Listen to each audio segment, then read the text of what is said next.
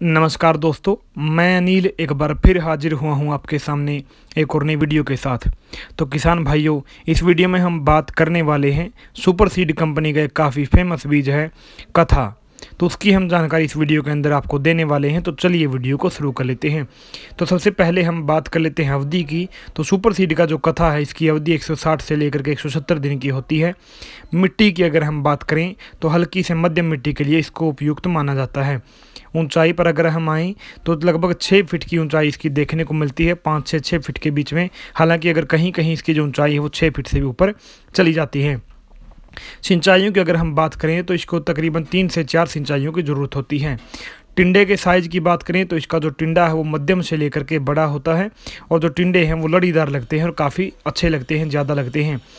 लगभग अगर हम बात करें साठ से सत्तर दिन में इसके अंदर फूल जो है वो बनने लगते हैं और उसके साथ ही फूल बनने के साथ साथ फल आने लगता है। ये जो वैरायटी है, दो बार फल उठाती है। सहनशीलता की अगर हम बात करें तो रस चूसक कीटों के प्रति ये वैरायटी सहनशील है। उत्पादन की अगर हम बात करें तो 10 से 12 क्विंटल प्रति एकड़ का जो उत्पादन है, इसका एवरेज उत्पादन सामान्यतः देखने को मिलता है।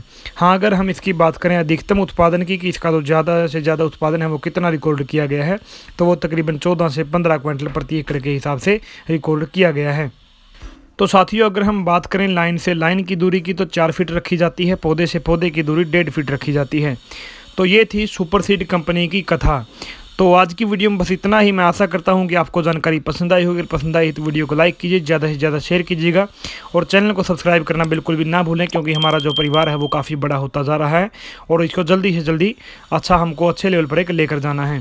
तो इसके लिए चैनल को सब्सक्राइब करना बिल्कुल भी ना भूलें। तो मैं कामना करता हूँ कि आपका आज का दिन शुभ हो। और हालाँकि सभी भाइयों से एक ही निवेदन है, आपने जो भी वैरायटी पिछली बार या उससे पिछली बार बोई हो, उसका जो एक्सपीरियंस है, जो रिज़ल्ट है, उसका वो कैसा रहा कमेंट करके ज़रूर बताइएगा, ताकि मैं और किसान भाइयों को बता सकूँ। तो आज का दिन आपका सुबह वीडियो देखने के लिए आपका बहुत बहुत धन्यवाद।